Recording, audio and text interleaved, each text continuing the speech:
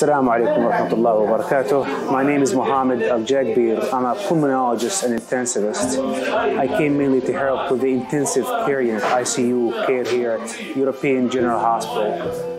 Um, you know, I came, uh, I'm, I'm, part of JAPA, Jordanian American Physicians Association, and I came uh, with coordination with PAMA, Palestinian American Medical Association, uh, to help with the dire situation in Gaza hospitals.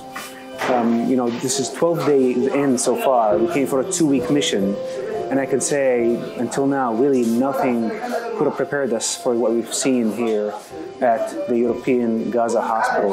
The situation, the healthcare is collapsing. Uh, a lot of it is already collapsed. The, uh, there's a lot of vital services that are not available in the ICU.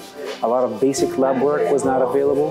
I actually remember my second day here where I was told there's no labs for that day.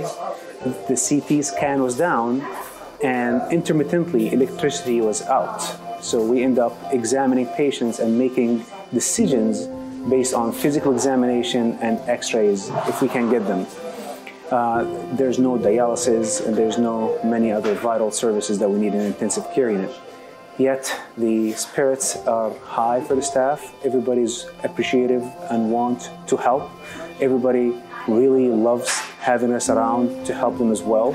Um, so that's that's been my experience at the European Gaza Hospital. Going forward, I hope the only the only solution for this to come back, to rebuild the system, is for the atrocities to be done by to to be over, so we can actually rebuild the system.